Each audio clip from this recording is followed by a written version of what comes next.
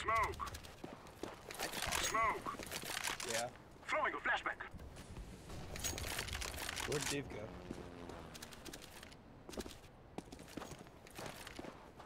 Throwing a flashbang.